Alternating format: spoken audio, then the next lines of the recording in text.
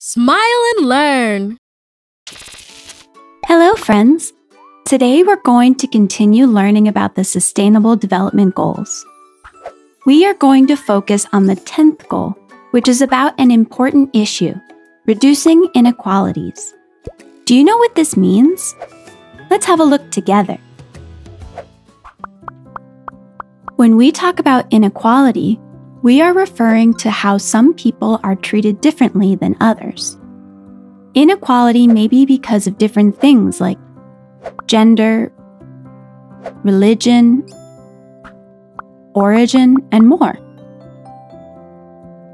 Inequality causes poverty, malnutrition, and hunger. Did you know that the richest 1% of the world's people have more money than the rest of the people in the world altogether? Or that women can earn 75% less for doing the same job as men? These facts and many more have caused the United Nations to make reducing inequalities the 10th Sustainable Development Goal.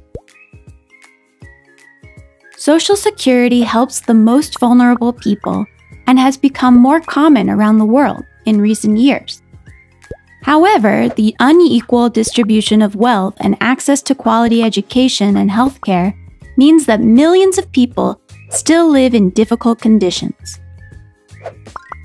Educational inequality causes social and economic inequality because it means that some people do not have the same opportunity to receive an education and build their future. Supporting a quality public education system will help improve the lives of millions of children around the world. Gender inequality occurs when a person does not have access to the same opportunities as another person because of their gender.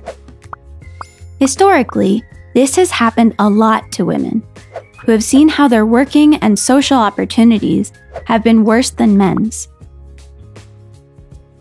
This situation has improved in some countries, but there's still a long way to go to reach true equality. For these reasons, reducing inequalities requires an effort from all government administrations and from us as a global community. What are some ways you can think of to help include all people, regardless of age, gender, disability, race, or religion? I'm sure you can think of a great way to do your part.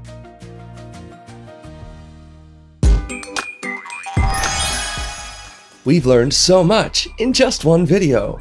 Did you know there are many more videos? Imagine how much you could learn. Subscribe to the Smile and Learn educational channel to learn and have fun at the same time.